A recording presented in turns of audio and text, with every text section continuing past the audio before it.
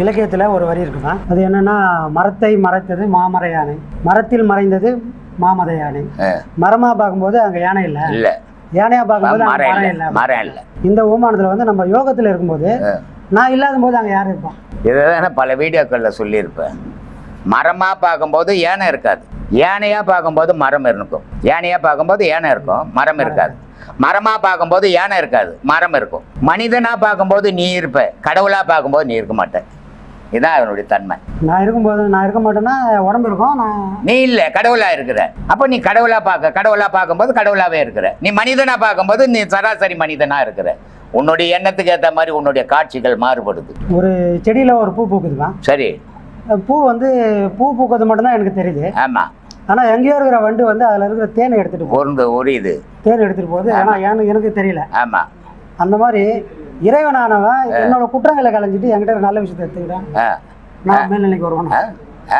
என்னோட இறைவனானவன் என்னோட குற்றங்கள் எல்லாம் மறந்துட்டு என்ன ஒரு மேல்நிலைக்கு எடுத்து போனான். ஏற்று போக முடியாது. ஏன் தெரியுமா? ஒரு பூ பூக்குது. தேனி போய் அதில் இருக்கிற மகரந்தத்தை உரியுது. ஆனால் அதில் மகரந்தம் இருந்தா. ஆனால் அதே வந்து இந்த அலரி பூவில். அதே மாதிரி என்ன பூவுது புளியாருக்கு போடுறோமே எருக்கம்பூ அதில் போய் தேனி மகரந்தம் உருந்தாது நீ நல்ல வாசனை உள்ள ரோசா மாதிரி இருந்தீங்கன்னா இறைவன் உனக்கு பண்ணுவான். ஆனால் நீ அலரி பூ மாதிரியும் இந்த பூ மாதிரி இருந்தீங்கன்னா உன்னை எப்படி அல இறைவன் இது பண்ணுவான்? அப்போது நீ நல்ல ரோசா மாதிரி ஆகிறதுக்கு முயற்சிகளை பண்ணு. இறைவன் கண்டிப்பாக உன்னுடைய குற்றங்களை கலைஞ்சு உன்னை ஏற்றுப்பான் ஆனால் நீ எப்பவுமே நான் எருக்கம்பூ மாதிரியே இருப்பேன் என்ன இறைவன் ஏற்றுக்கன்னா எப்படி ஏற்றுப்பான் ஏற்றுக்கவே முடியாத நிலையில் நீ இருக்கிறிய.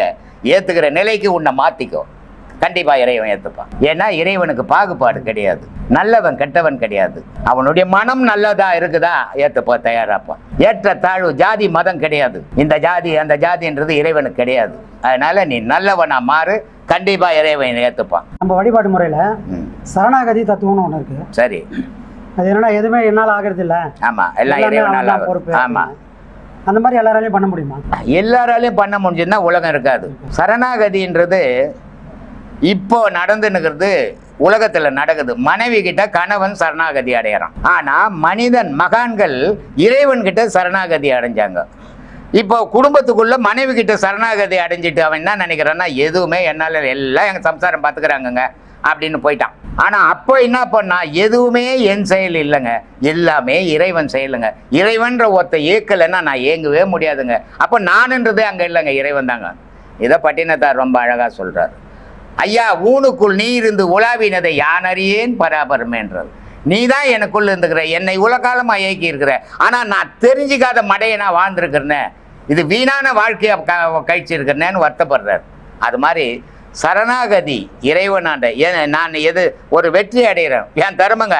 நான் அவ்வளோ யோசித்து பண்ணுங்க அப்படின்னு சொல்லுவான். ஆனால் தோல்வி அடி போச்சுன்னா நான் செய்த முட்டாள்தனங்கன்னு ஒத்துக்கவே மாட்டான்.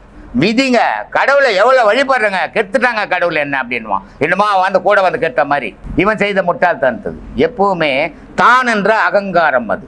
எந்த செயலாண்டாலும் இருந்தாலும் இறைவன் இல்லாம நீ ஒரு செயலும் இந்த உலகத்துல செய்ய முடியாது. ஒரு பணம் இருக்குது. அந்த பொணத்துக்குள்ள பணம் உடலெல்லாம் இருக்குது. கண் இருக்குது மூக்கு இருக்குது வாய் எல்லா பொருளும் இருக்குது. ஒரே பொருள் உயிர்ன்றது ஒண்ணு இல்லை. இப்போ அது எந் எழுந்து எந்த செயலையாவது செய்ய முடியுமா? செய்ய முடியாது. ஏன்? அந்த உடலை விட்டு இறைவன் வெளியே வந்துட்டான். அப்போ அதுக்கு ஏக்கம் இல்லாம போச்சு. அப்போ இந்த உடலுக்குள்ள இறைவன் இருந்து இயக்குற வரைக்கும் தான் நம்ம இயங்குறோம். ஒரு பைக் வச்சுன்னுக்கிற அந்த பைக்ல எல்லா பொருளும் இருக்குது ஆனா அது அந்த தெருவுக்கு போய் வரலாம் இந்த தெருவுக்கு போய் வரலாம்னு போகுமா? ஒரு அது மேல ஏறி உட்காந்துன்னு ஒரு டிரைவர் ஓட்டினா தான் அது அந்தந்த தெருவுக்கு போகும். அது மாதிரி நீ ஒரு பைக்கு மாதிரி உனக்குள்ள இறைவன் இருக்கிறான். அந்த இறைவன் டிரைவரா இருந்து உன்னை என்னென்ன செய்யணும்னு ஏற்கிறான் ஓட்டுறான் ஓடிங்கிற நீ.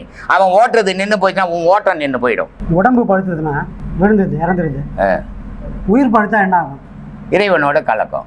அதனால தான் நான் போன வீடியோவில் கூட சொல்லியிருந்தேன். ஜீவன்னா குழந்தைன்னு அர்த்தம். சிவம்னா முதுமைன்னு அர்த்தம். அப்போ ஜீவனாக இருக்கப்பட்ட உயிரை சிவமாக மாற்றிடுங்க ஜீவனாக இருந்தால் அது பூமியிலேயே பிறந்து பிறந்து சாகும். சிவமாச்சுன்னா அது திருக்கைலாயம் போயிடும் அப்படின்னு போன வீடியோவிலே சொன்னேன்ல. அப்போது இந்த உடலினுடைய முதுமையை மட்டும்தான் நீங்கள் வயசாக கணக்கு போட்டுக்கிறீங்க. அந்த உயிரை முதுமைப்படுத்தணும்னு பழக்கப்படுத்தல. அந்த உயிரை முதுமைப்படுத்துறது தான் யோக பாதசாலை. அந்த உயிரை முதுமைப்படுத்தும் போது அது சிவத்தோட போய் சேரும். அது உயிர் இளமையாக இருக்கும்போது உடல் முதுமை பெறும்போது உடல் விழும் உயிர் இங்கேயே பிறந்து பிறந்து சாகும். இப்போ வந்து வாழ்க்கையில கைலாசம் போனோன்றது இவங்க உயிர் பழுத்து போனோம். சிவமாக பார்க்கணும் கைலாசம் அப்படின்றது ஒரு ஊர். காசி அப்படின்றது ஒரு ஊர். கன்னியாகுமரி அப்படின்றது ஒரு ஊர். அது சுற்றுலா பயணம். ஆனால் உண்மையான கன்னியாகுமரி முக்குடல் காசி கைலாயம் வைகுந்தம்ன்றது சுழுமுனை. இவன் இதுக்குள்ளே போய் தங்கினான்னா இவன் கைலாசம் போவான். இதுக்குள்ளே போய் தங்கினான்னா வைகுந்த வைகுந்தம் போவான். இதுக்குள்ளே போய் தங்கினான்னா காசிக்கு போவான். இதுக்குள்ளே தங்கினான்னா கன்னியாகுமரி போவான். ஆனால் இவன் வெளி உலகத்தில் இருக்கிற ஊர்களுக்கு சுத்தத்தால் காசிக்கோ கன்னியாகுமரிக்கோ போக முடியாது. ஊருக்கு தான் போக முடியும். சுற்றுலாவாக தான் போக முடியுமா தவிர சுகத்துக்காக போக முடியாது. இதை தான் ரொம்ப அழகாக சொல்கிறார் அகஸ்தியர். இந்த கன்னியாகுமரி போனேன் காசிக்கு போய் வந்தேன் கைலாயத்துக்கு போய் வந்தேன் அப்படின்னு சொல்கிறதுலாம் நீ ஊர் சுற்றுற விஷயம்பா.